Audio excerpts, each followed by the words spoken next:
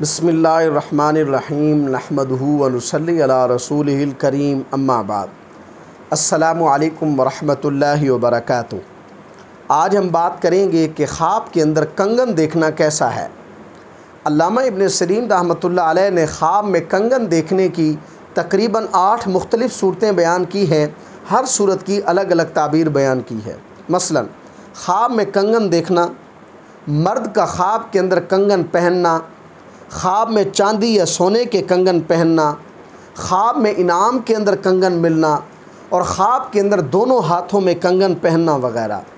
اگر آپ بھی ان صورتوں میں سے کسی صورت کی یا ان کے ساتھ ملتی جلتی کسی اور صورت کی تعبیر جاننا چاہتے ہیں، تو اس ویڈیو کو آخر تک ضرور دیکھیں۔ اگر کچھ خواب کے اندر کنگن دیکھتا ہے، تو یہ خواب اگر مرد دیکھے، تو یہ خواب دیکھنے والا شخص فقر و فاقہ اور تنگی کا شکار ہوگا۔ اور اگر عورت دیکھے تو اس کے لیے خواب میں کنگن سے مراد شوہر ہے۔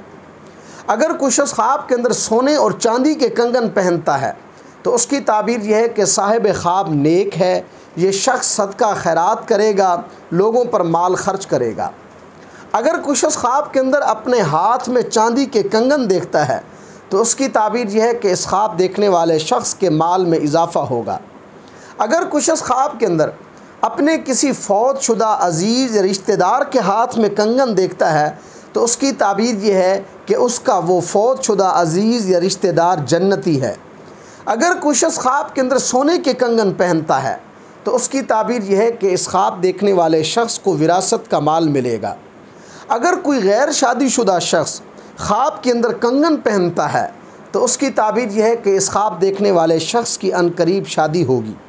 اگر کوئی حاملہ عورت اپنے ہاتھ میں سونے کے کنگن دیکھتی ہے، تو اس کی تعبیر یہ ہے کہ اس عورت کے ہاں بیٹا پیدا ہوگا۔